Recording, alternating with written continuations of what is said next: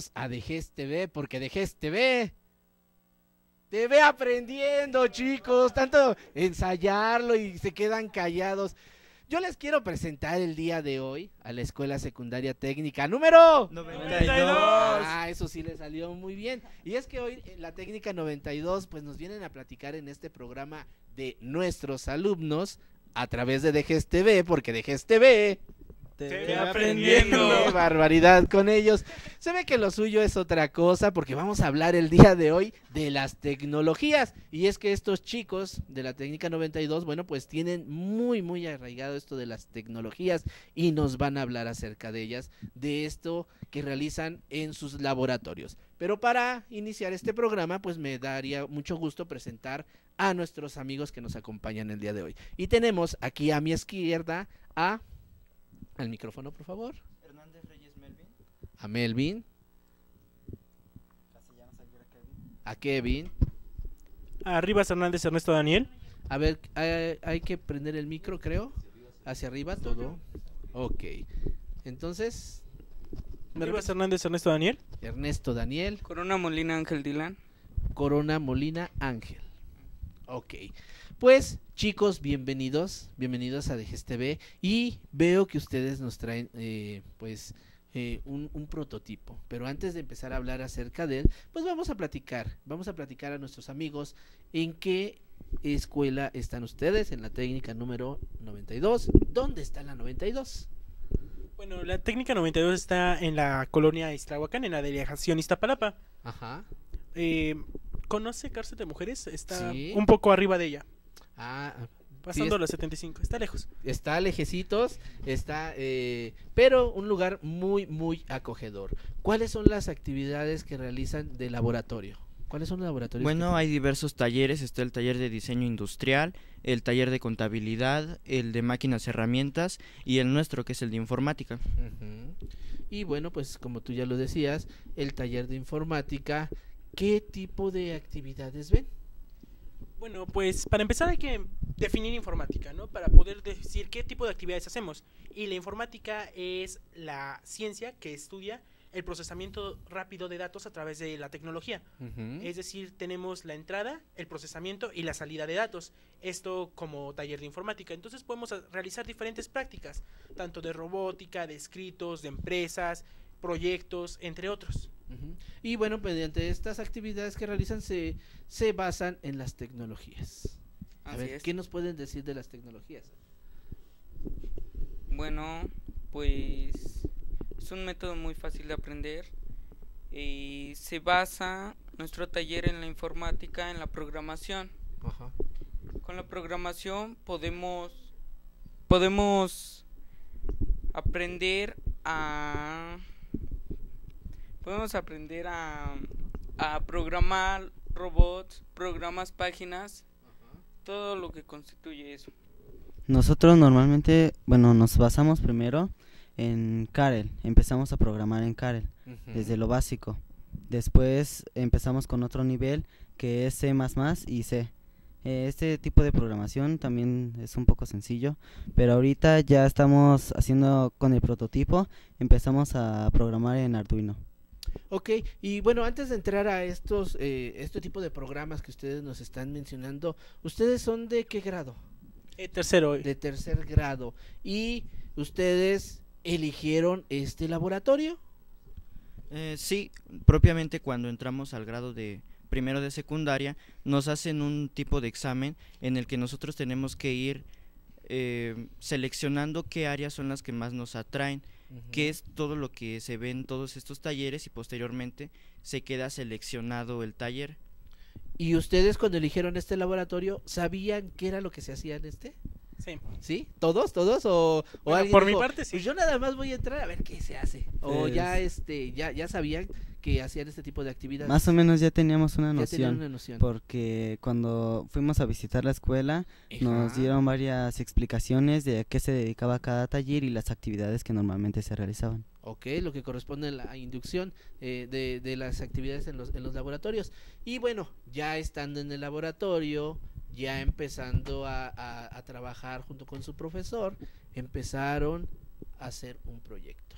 Díganme, ¿cuáles son los proyectos que ustedes eh, eh, han hecho? Y por ejemplo, eh, tú nos comentabas ya acerca de unos programas que, que empezaron a utilizar. Este, bueno, eh, en primero tuvimos un- otro profesor que se llama el profesor Roger.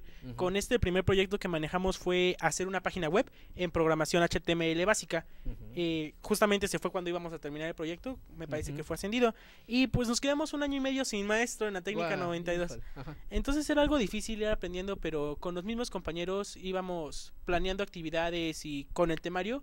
Y una maestra nos hacía el favor de darnos clase gratis. Ok. Entonces, ya en tercer año, a finales de segundo, llegó nuestro profesor Miguel y con él empezamos a hacer diferentes proyectos. El primero fue la planeación de una empresa. Ajá. En la empresa hicimos diferentes cosas, bueno, todo lo que tiene que llevar. Eh, se supone que era una simulación de venta, compraventa y cómo se mueve la informática en esto, cómo ayuda eh, la informática a una empresa, la organización, la jerarquía y las situaciones que se ven impresas en esta. Y bueno, pues eh, em- empezaron ustedes a, a- manejar todo, eh, todas esas actividades o este conocimiento de carácter empresarial hasta llegar ustedes a diferentes prototipos. ¿Con qué finalidad? ¿Para un concurso? ¿Porque usted eh, estaba dentro del programa? A ver, coméntenos. ¿Y qué tipo de, de actividad empezaron a manejar con estos prototipos? Bueno, todos estos tipos de proyectos se hacen con la finalidad de que nosotros avancemos en lo que es el conocimiento de la informática y su relación con las diversas áreas del conocimiento, como lo son la robótica, la nanotecnología, entre otras actividades. Eh, nosotros estábamos en el proyecto de la empresa, posteriormente tuvimos que irnos al proyecto del robot porque el maestro vio en nosotros capacidad para poder desarrollarlo. Entonces fue un gusto por parte de todos nosotros poder eh, abarcar diversas áreas, como lo es la robótica. Y me comentaban antes de iniciar al, eh, entrar al aire de que ustedes han concursado. Este, sí, no La- propiamente nosotros, pero sí la escuela La y escuela. el profesor con otros prototipos. De hecho, es el, el profesor de la tarde y con él hizo un prototipo que es el antecesor de este. Y este es el cambio que vin- venimos mejorando el prototipo pasado con el que fueron a concursar. Ok, vamos a ver el antecedente. Platíquenos en qué consistía eh, el antecesor de este. En una tabla con ruedas y un sensor. Una tabla con ruedas y un sensor. Muy bueno, simple. es algo muy simple, pero no tanto. No, no porque tanto. bueno, tiene su programación. ¿Qué hacía? Gira- eh, Eh, ¿Caminaba? Caminaba y evitaba obstáculos. Evitaba obstáculos. ¿Y bajo qué programa hacían esto? En software libre de Arduino. Software libre de Arduino. Arduino. Y ustedes ya lo fueron mejorando. Claro. Ya le pusieron este adorni, no es cierto. No, No, una- no. como tal. Sí, ya tiene una finalidad, ya tiene otro tipo de objetivo. De precisamente estamos viendo en este momento algunas de las imágenes que, eh, que bueno, pues nos trajeron los chicos del proceso. ¿Alguien nos quiere explicar qué es lo que estamos viendo? Bueno, estábamos viendo cómo del proyecto anterior fuimos innovando hasta llegar a este proyecto que es similar, pero ahora, aparte de evitar obstáculos, recoge basura, que es su finalidad como el proyecto. Estamos viendo la programación, cómo la fuimos armando, soldando los, soldando los cables y también cómo fuimos cómo fuimos ah, pues Diseñando. ensamblando las partes correspondientes También an- antes de realizar nuestro prototipo tuvimos que hacer la justificación del proyecto, que es donde tuvimos que plantear la problemática por la cual construimos nuestro robot. Eh, la problemática es la siguiente, es la falta de personal de limpieza en nuestra institución. Entonces, como sabemos, queremos dar un toque estético a nuestra escuela y no solamente eso, sino contribuir a la reducción del calentamiento global, que es producido por los residuos inorgánicos. Entonces este este prototipo que ustedes traen es es una máquina que realiza Check out limpieza. Una for barredora. your daily portion of Ajá. dance. Pero pues tiene su chiste. Porque, ¿qué es lo que hace? Yo creo que en un momento nos van a mostrar los chicos co- cuál, eh, cuál es la función o las, eh, eh, la- lo, lo que realiza. Pero bueno, a ver, platíquenme esta situación. ¿Qué tan difícil fue para ustedes hacerlo? ¿Cuál fue el proceso de, eh, en tiempo y tam- también el- en el aspecto económico. es un poquito eh, ahí complicada esta situación, pero bueno, eh, hay que mencionarlo porque muchos de nuestros amigos que nos ven, eh, pues también les gusta mucho este, esto de la robótica y bueno, pues eh, eh, se, se- se animan a, a- buscar tutoriales para que puedan ellos eh, realizar algo similar.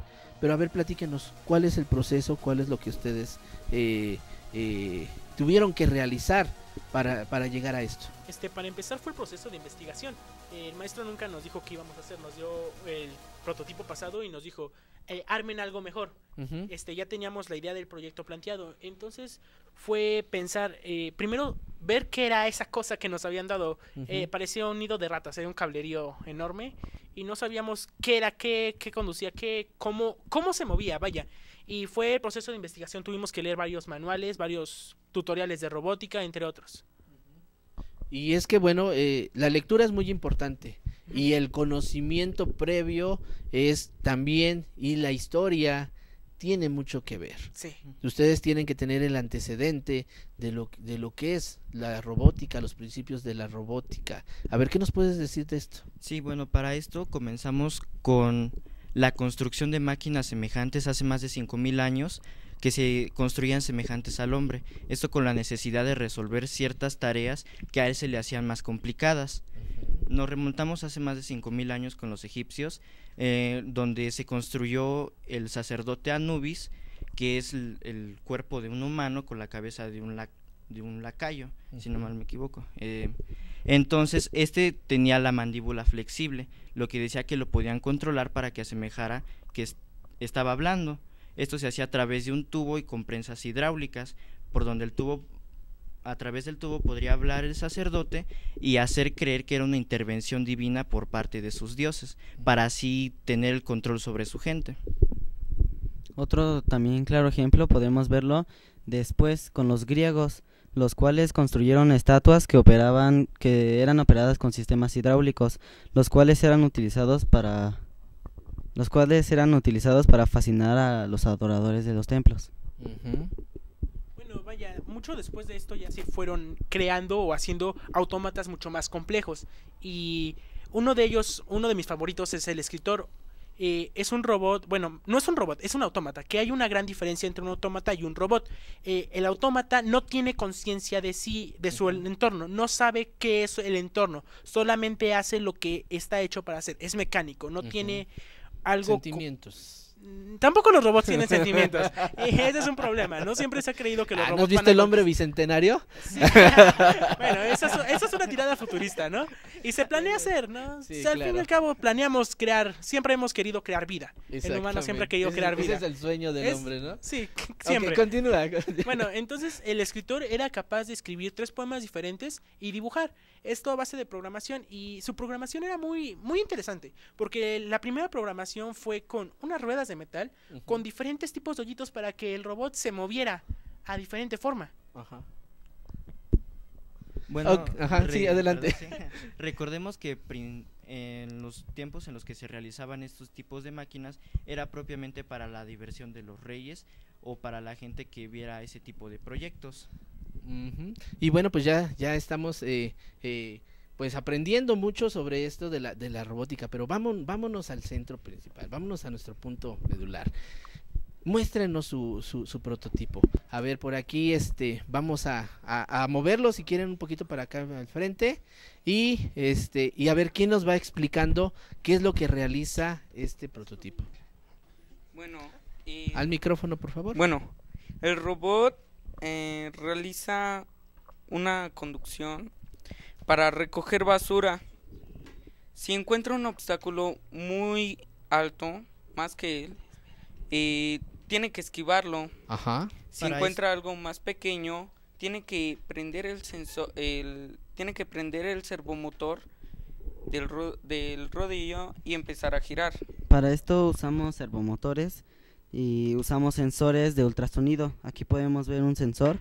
Este es el que detecta a las personas y este de aquí abajo es el que detecta la basura para poder hacer funcionar el rodillo. Eh, los sensores tienen un alcance de aproximadamente 4 metros de distancia. metros. Y los servomotores eh, utilizan 5 voltios de energía para funcionar. Tenemos aquí tres, dos de las ruedas y uno para el rodillo. Ok. Bien, eh, teníamos varios problemas en esto. Para empezar, no sabíamos cómo conectar tantos cables si nuestra tarjeta Arduino este solamente tiene una entrada de 5 voltios. El problema con esto, para resolver este problema utilizamos un protoboard que es como un multicontacto en palabras muy simples. Eh, ahí podemos a través de un puerto en serie conectar diferentes cables. Y además de que no se reduzca la energía. Además de que... Ese es un problema, sí eh, se reduce. Sí se reduce. poco sí, a porque poco. al ir conectando, a ir haciendo más conexiones, vas teniendo menos, menos energía. ¿Cómo lo resolvieron? ¿O cómo se resuelve eso? Más baterías. Para esto teníamos la opción de comprar más baterías, como ya bien lo dijeron, o usar un protoboard. Un protoboard es una tarjeta, un tipo de tarjeta perforada que nos sirve para conectar todos los cables y Ajá. que esto, este regule y nos ayude a conducir la electricidad y el procesamiento de los datos a través del robot. Ok. Y bueno, ahorita estamos eh, colocándolo. Este, el funcionamiento de, de- de este prototipo y, y bueno, ellos nos los explican muy, muy, de forma muy sencilla, pero, pero tiene su chiste, tiene eh, una programación, tiene eh, códigos binarios, si no me equivoco, algo de lo que nosotros podamos en- entender eh, sobre cómo funciona este prototipo. Bueno, el código Arduino está basado en C. C es un lenguaje de programación de nivel medio. Eh, tiene diferentes funciones booleanas y diferentes formas de medir los sensores y las capacidades que este puede ejecutar. Este, por ejemplo, los rodillos y las llantas las hacemos girar con un ciclo for.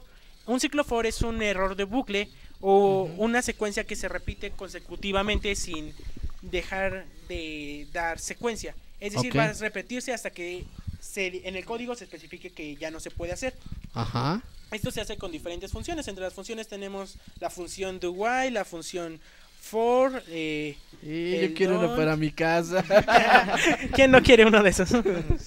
Ajá, y perdón, sí, Sí, continúa. y bueno, los sensores se programan de diferente manera, hay que calibrarlos de una forma adecuada.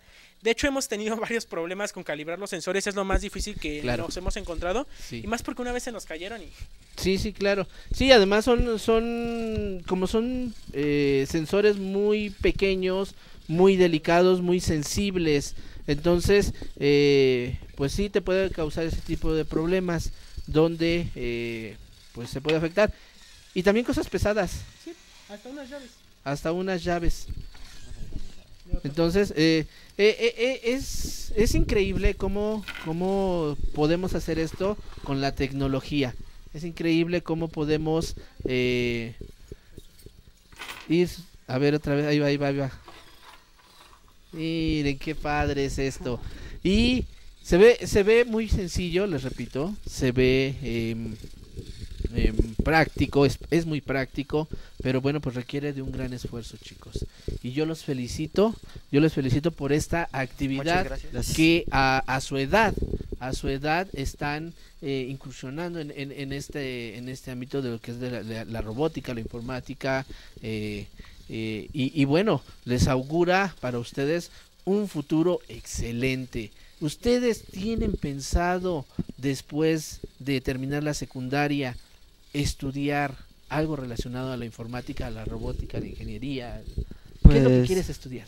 Yo quiero estudiar sistemas automotrices. Sistemas automotrices. Bueno, yo me voy más por la carrera de biomédico o bioquímico, que también podremos involucrarlo en el área de las baterías, Ajá. más, eh, crear nuestra propia batería para que dure más tiempo funcionando nuestro robot y tenga un mejor aprovechamiento de la energía. Bueno, yo quiero estudiar eh, físico cuántico. Ajá. Se asemeja un poco, no mucho, pero sí conlleva unos temas. Ok, por allá al final. Este, yo de lleno sí quiero dedicarme a la programación. Quiero Ah. primero estudiar ingeniería en sistemas y pos- posteriormente dedicarme a la programación. Oye, pues chicos, pues muchas felicidades y esperamos que ustedes puedan cumplir estos sueños. Van por muy buen camino, los felicitamos mucho, reciban un saludo de parte del licenciado Salgado y él estará contentísimo de ver este tipo de trabajos que se están haciendo en la técnica 92. Muchas gracias chicos y bueno, pues no, no me queda más que despedir este programa. El día de hoy que, bueno, pues nos trajeron este prototipo donde, bueno, pues ya lo hemos visto cómo trabaja, ya lo hemos visto de qué forma eh, se fue creando y esto nos da nos da esta vanguardia de la de la de la de las tecnologías. El uso de las tecnologías puede ser eh, pues utilizado valga la redundancia en eh, en las actividades eh, para ayudar al ser humano. Muchas gracias, muchas gracias por estar con nosotros. No se vayan porque tenemos mucho más programación aquí en DGS TV. Y hoy estuvimos con los chicos de la Escuela Secundaria Técnica número 92. Vaya, por fin le salió. Entonces, muchas gracias y nos vemos en otra emisión de nuestros alumnos. Hasta la próxima.